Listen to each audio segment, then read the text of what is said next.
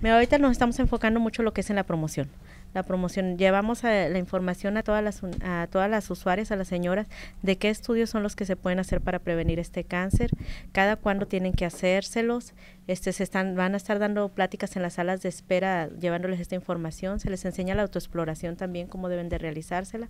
Aparte va a haber murales en las unidades sobre información sobre los factores de riesgo, que es lo que hace que, que contribuyan a que sea una mujer más propensa a tener estas enfermedades y se les invita a hacerse los estudios que son gratuitos en todas las unidades.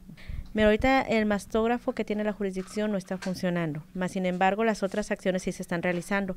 Estamos realizando la que son las exploraciones clínicas eh, ahí en las unidades, aparte de lo que es el Papa Nicolao y la prueba del virus del papiloma. Ahorita nada más la única que no está realizando es la mastografía.